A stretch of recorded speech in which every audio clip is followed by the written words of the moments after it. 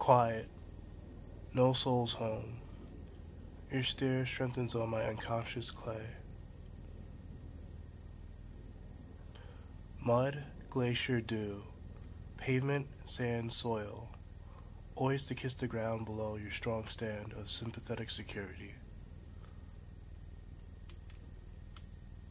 My blood sprints within lone veins as your queen shadow walks towards my bedside. Only Jin, greater than every goddess, approaches my vessel in deepest darkness.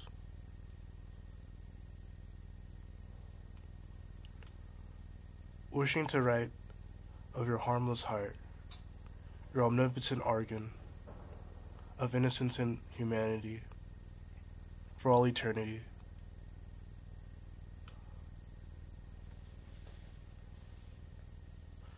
No slumber until your kind lips guide my ghost beneath your wholesome warmth.